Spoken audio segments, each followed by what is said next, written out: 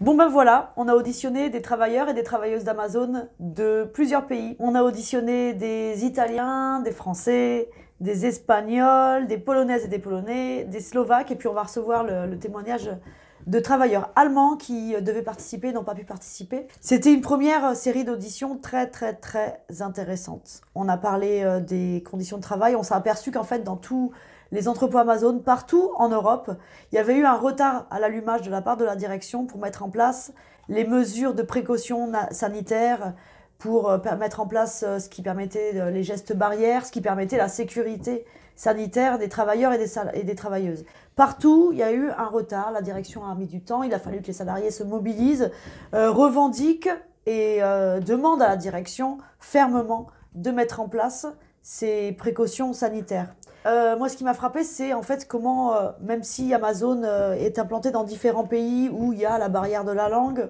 où il y a des droits du travail différents, des, euh, législations différentes, et eh ben comment il y a vraiment une interconnexion et comment ce qui se passe à un endroit peut influencer ce qui se passe ailleurs.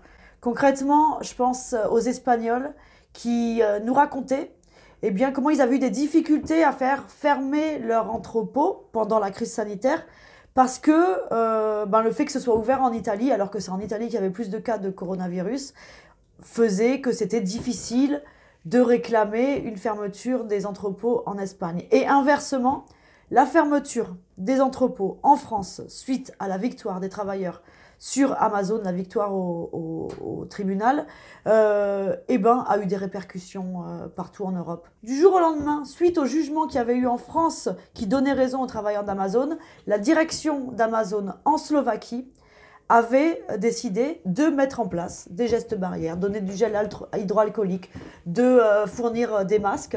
Et ça, ça n'aurait pas eu lieu s'il n'y avait pas eu la victoire des travailleurs d'Amazon France contre, contre, contre la direction. Partout en Europe, il a été proposé aux salariés une carotte qui prenait la forme de plus ou moins 2 euros.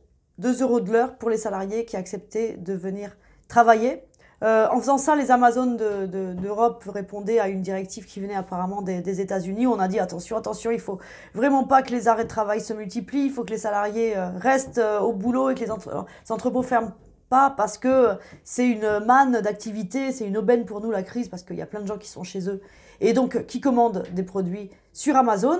Et donc il a été proposé donc de donner 2 euros, plus ou moins 2 euros. Hein. Je dis plus ou moins parce que en Allemagne c'était 2 euros. En Espagne, c'était 2 euros. Mais par contre, euh, en Slovaquie, c'était 1 euro.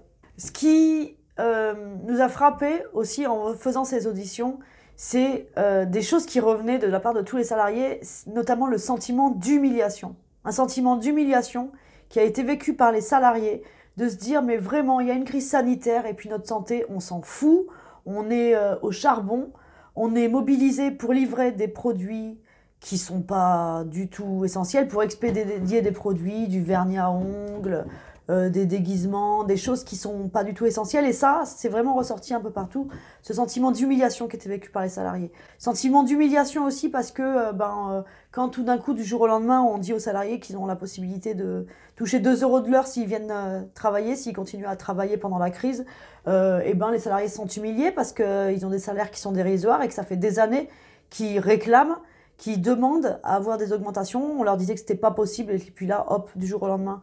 Sentiment d'humiliation, de mépris aussi euh, du fait que euh, euh, les salariés n'étaient pas écoutés, pas respectés. et puis avaient peur en fait parce que pendant cette période ils avaient extrêmement peur d'aller travailler euh, travailler avec, euh, quand vous devez porter un colis, ben, vous pouvez pas respecter les gestes euh, barrières. Quand vous êtes dans un entrepôt, il y a plusieurs centaines de personnes, ben, c'est, un nid à contamination. Quand en parallèle, ben, voilà, vous entendez à la télé, de la part du gouvernement, qu'il faut qu'un maximum de personnes restent chez soi et qu'il y a un virus qui risque de tuer tout le monde.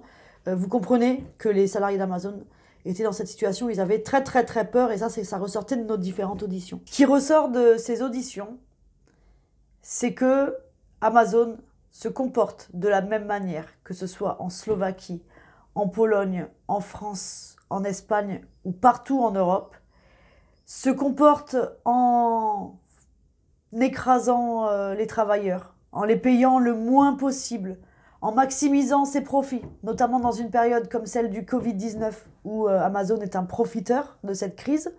Face à ça, pour lutter contre le système Amazon, eh bien, il n'y a qu'une réponse pour peser dans le rapport de force, et on l'a vu, cette réponse, c'est de faire en sorte que les salariés se coordonnent à l'échelle globale. Cette entreprise agit à l'échelle globale. Pour être efficace, pour lutter contre cette entreprise, cette multinationale, il faut une interconnexion entre les revendications, entre les demandes, entre les luttes des différents salariés à l'échelle européenne. Ils nous ont dit, ces, ces, travailleurs et ces travailleuses, ils nous ont dit à quel point ça leur donnait de la force d'être connectés aux Français, aux Espagnols, de dépasser la barrière de la langue, de savoir qu'en France il y avait eu telle victoire, eh bien ça leur donnait la force pour se battre eux à l'échelle à l'échelle de leur pays, de savoir que eh bien ce qu'ils vivaient, euh, euh, les Espagnols le vivaient aussi, les travailleurs d'Amazon du monde entier le vivaient aussi, ça leur donnait de la force, ça leur permettait de peser dans le rapport de force et ça faisait peur d'un autre côté à Amazon.